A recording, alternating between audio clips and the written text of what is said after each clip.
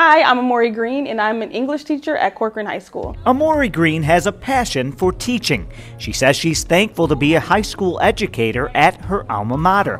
So I graduated from Corcoran in 2014, and I've been teaching here. This is my fifth year. After Corcoran, Amorie graduated from both SUNY Cortland and SU, while she's currently working on getting a second master's from Le Moyne. She says she moved back to Syracuse after teaching first grade for a short time in New York City.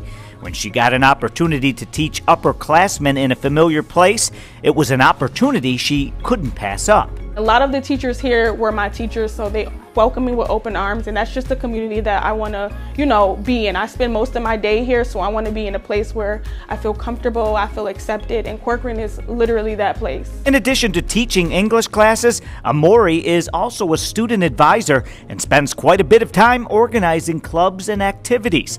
Her primary goal make a difference in the lives of her students. Doing something that matters is like the biggest thing for me. And uh, a lot of times kids don't realize or recognize the impact that their teachers in their school has until they're older. Um, but that's something that's super important to me as a teacher. Making that difference one student at a time. With the Syracuse City School District, I'm Brad Vivacqua.